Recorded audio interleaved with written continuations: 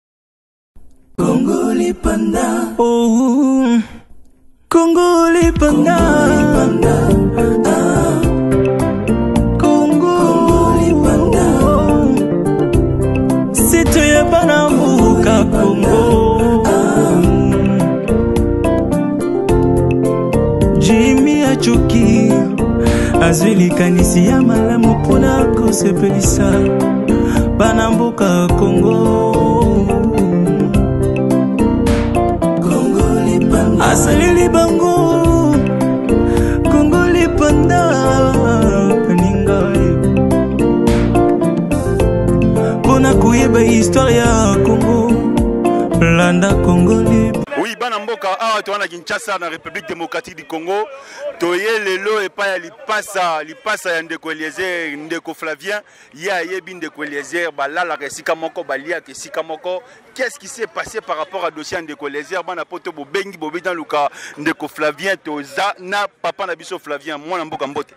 mbote mwana mboka mbote na bandeko nyonso bazolanda émission na yo et puis na ba combattant nyonso balingi changement na mboka bandeko nyonso bazala na bolingo ya mboka na bango na pesi bango mbote ezala baoyo baza libanda mboka na baoyo baza na mboka bayeba ete na kati elonga na kati ya bitumba nde tokolonga Merci. Mwana mboka ndeko Flavien ndeko Eliezer na prison ya Makala. Qu'est-ce qui s'est passé?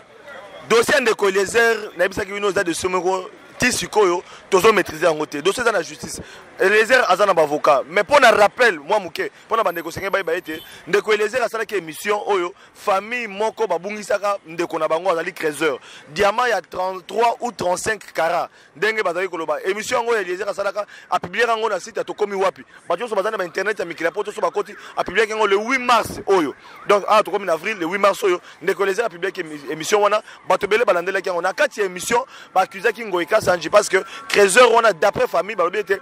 bamemaki mwasi ya ngoi kasanji amemaki euh, trésor wana na diama kokóma na aéroport baremete yango na ngoi kasanji diama na ekei lelo oyo mwana mboka Ngoy Kassanji a poursuivre yende a porter plainte contre Ndeko Eliezer lundi bakangaki Ndeko Eliezer nde bolandaki bino moko mardi tozalaki na Ndeko Eliezer mercredi tozalaki na Ndeko Eliezer déjà tant bakangi Ndeko Eliezer corporation ba journalistes ba ndeko nyonso tokomaki kosenga d'abord un ngai nasengaki na mwana mboka Ngoy Kassanji na mina yeke non dossier oyo bandi kozwa ampleur mosusu soki tokende yango na niveau ya justice ekozwa connotation mosusu parce que toza na impression main noire eza nsima dossier wana tosengaki mpe lisusu na mwana mboka ngoyi kasanji arécupere plainte na ye tosengaki mpe lisusu na, na procureur général parce que tokendaki kosala sutine liboso ya procureur général wana ezalaki mardi mpo na kosenga liberté provisoire ya ndeko eliezer asambaka libanda tokamwe na mokolo ya lobi mercredi tolamuki baye kokende na ndeko eliezer na chambre de, de, du conseil wana tozali na gombe na tribunal de paix mpo na nini ministère public asengi prolongation ya détention ya ndeko eliezer de 15 jours lisusu Or, azalaki na map mandat d'arrêt provisoire. Euh, en principe, akoki kosala 5 jours kaka. Mais bake kowela na ministère ya na nini na ministère public. Alors, biso pe na ministère public na ba avocat tozo défendre likambo wana na sens que tosengi na ministère public soki balingi ba détenir ndeko Eliezer. Ndeko Eliezer azali na adresse na Kinshasa, ndeko Eliezer ayebani place avandaka, ndeko Eliezer azali moto oteka bakobunga place akozwa ye. Bapesa liberté provisoire akendaka kosamba comme tout congolais dommage bandeko balandi likambo ya kokamwa eza ete na 5 heure ya mokolo lelo bakumbi ndeko eliezer na mitolo bandeko eliezer na makala donc mpo na bandeko bazali na badutu toza informe na bango eke ndeko eliezer na mito toza kosolola na bino ndeko eliezer azali détenu na makala nanu asambi te dossier yango plaignant azali mais na tribunal de paix tomonaki plenia te tomonaki ka ministère public ako poursuivre ndeko eliezer alors tolobi boye esengelaki ministère public lelo oyo na niveau ya tribunal de paix na chambre de commerce base prononce na 12 heures ya mokolo lelo tozosala émission ngai na yo awa bandeko baza kolanda biso tokomi déjà 12 heures 39 donc 13 heures moins nanu base prononce te ndeko eliezer aza déjà na makala azolia mvuvule toyebi te bandeko balandi est ce que likambo ezali koleka ekomi politique likambo ezali koleka ezali kaka likambo kaka affaire civile ya ndeko elezer na ngoi kasanji to mpe ekomi na baproblème mosusu mpo na bainformation mosusu tokopesa na bandeko balandi esenge boye bayete deux jours lelo avant bamema ndeko elezer mwana ndeko elezer na nzela na limete transco etuti mwana wana na vola azali kozonga classe azali bana elezer basali accident te nazo rappele nazobeta sete aza koloba boye bana ndeko elezer ndeko elezer asombela mwana ye oyo ya mwasi ya liboso aza na université mutuka mutuka alesa meme pas deux mois awa na kinshasa eutaki dubai eumeli te